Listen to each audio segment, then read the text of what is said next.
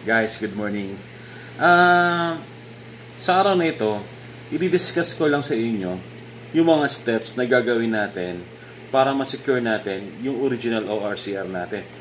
Once na nabayaran na po natin yung car loan natin sa bangko. So, napaka malaking tulong na, na ito, lalo-lalo na sa mga first time na nakapag-loan po sa bangko kasi hindi po nila alam yung gagawin nila.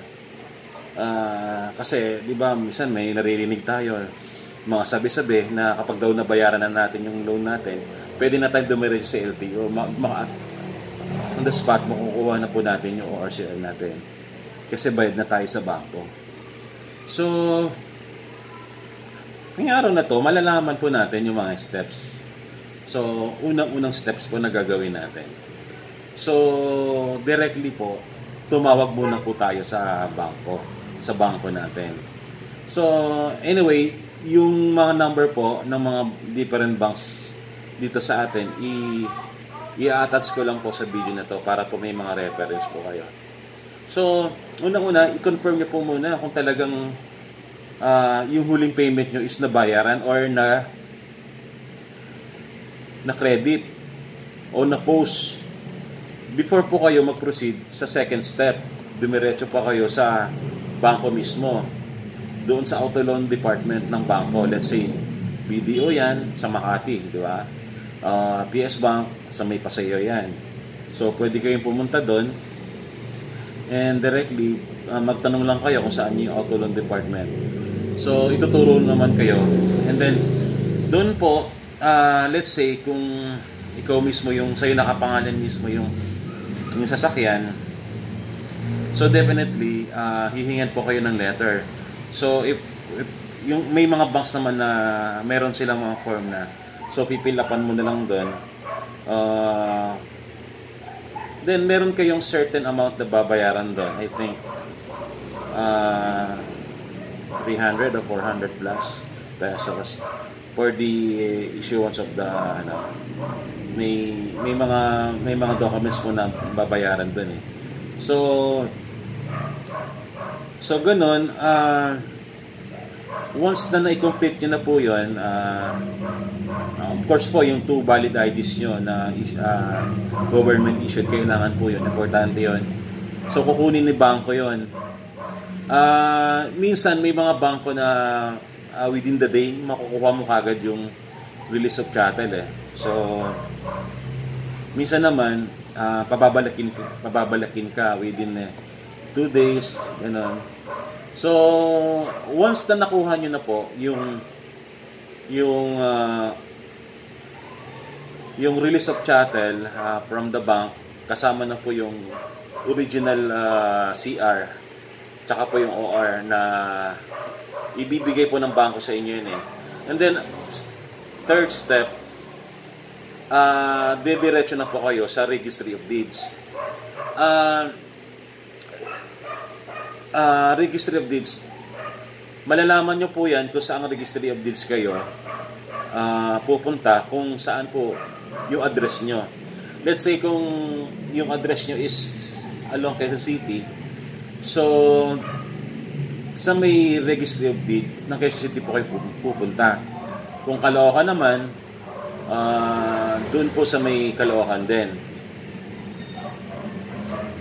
So ngayon, uh, pag-proceed nyo po doon sa registry of deeds, ipe-present nyo lang yung, yung mga documents na galing sa bangko na, bin, na binayaran nyo. Um, bills of chattel, pati po yung original OR, ORCR na galing sa bank. And then, uh, may babayaran din po kayo sa registry of deeds. Uh, depende po sa ano eh, depende po sa depende po sa anong RD pero more or less nasa I think nasa 1,000 plus po yan eh. Uh, babayaran nyo. Um, and then may mga RD din na hindi mo rin kagad makukuha yung yung yung ano mo, yung papel mo pababalikin ka within 3 days or 1 week. So, after that, masiguro mo na yung dokumento coming from Registry of Deeds. At that time, pwede na po kayong dumiretso sa sa LTO. Ah, yun po, ah, i-present nyo po lahat yung nanggaling sa RD para po kayo ma-issuehan ng bagong ORCR. Which is, hindi na po nakalagay doon sa bagong CR na yon na in-convert siya sa bangko or financing company kung saan po kayo nakapag-loan. So, yun po yung mga steps. And then, ah, meron lang po akong ihahabol about dun sa pag, ah, pag pagpunta nyo dun sa bangko, be sure po na kayo po mismo ang may-ari ng sasakyan. Kasi po, kung hindi po kayo may-ari ng sasakyan, ah, yung mga bangko po ngayon ay mahigpit. So, hindi po, hindi po nila basta-basta i-release po yung release of chattel. So, if ever naman, just in case, yung may-ari is nasa nasa abroad, ah, and then ipapalakad niya sa ano niya, let's say ah, kamag-anak niya, relatives, be sure po mag-secure pagagawin kayo ng bangko ng SPA na ina-allowed yung maglalakad na siya yung kumuha ng release of chattel.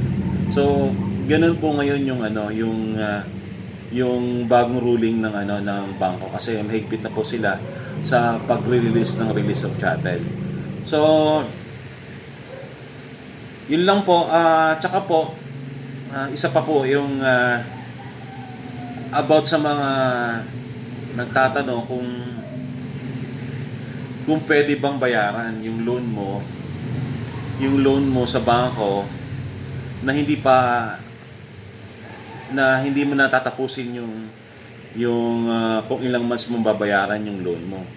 Actually, sa sa ngayon po, pwede naman po siya. Pwede mo siyang ah, let's say yung loan mo is naka-sked ng 60 months and then within 3 3 years nagkapera ka, gusto mong bayaran po ng buo, pwede po 'yon. So, kaya lang po ah, si Bangko si Bangko kayo nagbago na mahigpit na po sila ngayon. So, before kasi may mga rebates pa silang bina, binabalik ah, yung bangko. Kasi hindi mo natapos yung loan mo. Eh. Within 3 years lang na nabayaran mo na. Hindi mo na pinatapos ng 5 years. So, mag- i-compute nila uli yun, magkakaroon ka ng rebates.